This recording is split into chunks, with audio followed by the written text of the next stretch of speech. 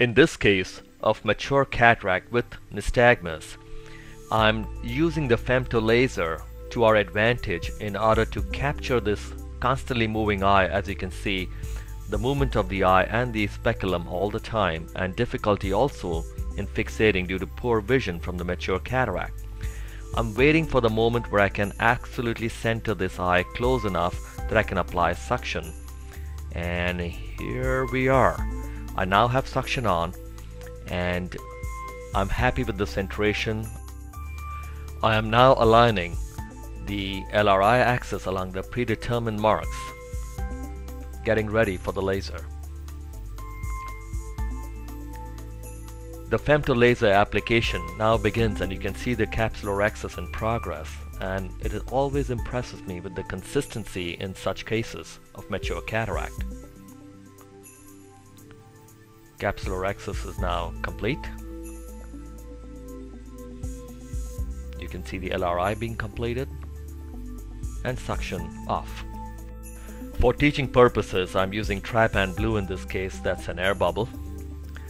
I now inject trypan blue under the air bubble, starting in the center in a controlled fashion, and then I kind of paint the capsule to make sure the main area is stained. Using viscoelastic I exchange the air bubble and in most cases the capsulorhexis will come out. It did not here so I'm concerned about the completion. While entering I depress the incision to remove the air bubble which could cause an optical illusion at the edge while I'm checking with the Utrata in a radial fashion to complete the rhexis and bring out this portion of the capsule to check completion. With a specially designed hydrodissection cannula, I now gently dissect and complete phacoemulsification.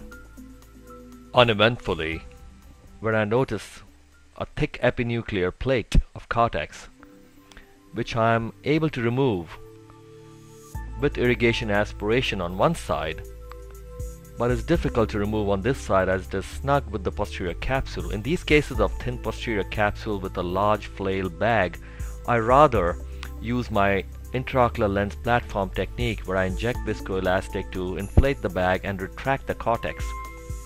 And now I'm injecting the lens where I help it unfold close to its predetermined axis while also gliding it to open under the cortex. I'm confirming the lens implant to be completely under this cortical material and I will demonstrate by scratching the cortex right here to make sure it's above the lens implant. I'm now ready for irrigation aspiration with excellent confidence since I have my implant protecting the very flail posterior capsule while I can raise the vacuum to remove all the cortex and epinuclear material subincisionally while also rocking the eye side to side to look for any escaped fragments. Case complete and next day post-op and you see this patient day 1 post-op with unaided 2025 vision with nystagmus. Very pleased with his outcomes. Hi Jim, how are you? Good morning. Good morning. So we did your surgery yesterday. You had a mature white cataract. We did with the femto laser. How do you feel today? I feel very good. Yes? Can you see anything at all? I'm seeing very well. Fantastic. How do you know? Tell me what do you see? Because we looked at the eye chart okay. a while ago. Come please, let's take a look. I'm actually seeing better with the operated eye than the other one. Fantastic. Come, chin in please. Very nice. So lens is in place, cornea crystal clear, healing has already started. You see the laser cuts and the laser axis here. Very nice. Sit back, please. Congratulations, Jim. Been a real pleasure. Thank you. Pleasure.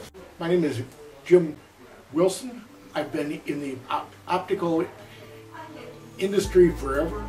Um, I had a very mature white cataract, uh, which blinded my right eye.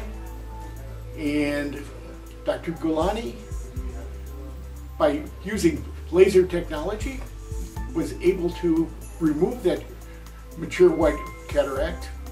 I went to see a retinal specialist, and he said he had never seen a cataract like that except in a textbook.